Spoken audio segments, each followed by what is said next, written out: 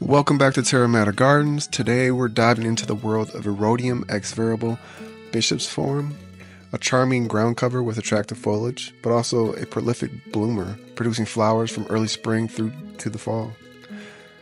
Erodium ex variabile, commonly known as Bishop's Form, is a hybrid plant, a cross between two different erodiums, both of which are native to the Mediterranean region.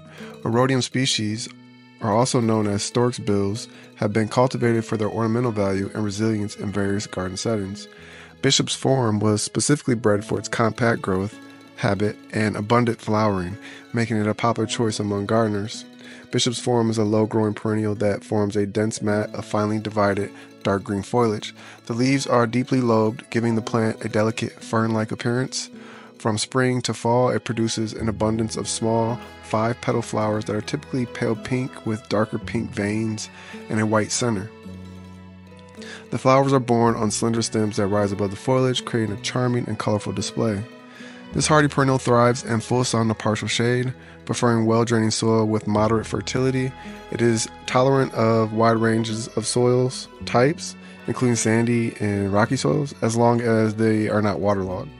Bishop's Form is drought tolerant once established, but will benefit from occasional water during prolonged dry spells.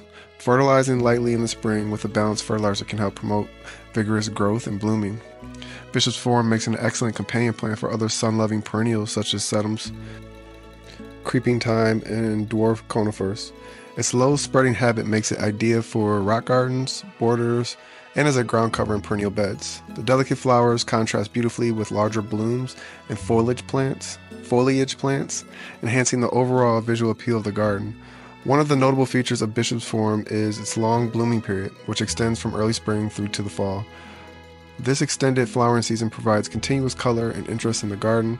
Additionally, the plant's dense growth habit helps to suppress weeds, making it a practical choice for ground cover. It's also deer and rabbit resistant, which adds to its appeal for gardeners dealing with these common pests.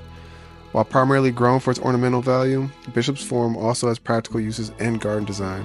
Its low spreading habit and drought tolerance make it a great choice for xeriscaping and erosion control on slopes. Though it doesn't have significant medicinal uses, its aesthetic appeal and low maintenance requirements make it a valuable addition to both formal and informal garden settings. And that's it for today's plant profile. Don't forget to like, comment, and subscribe for more plant content.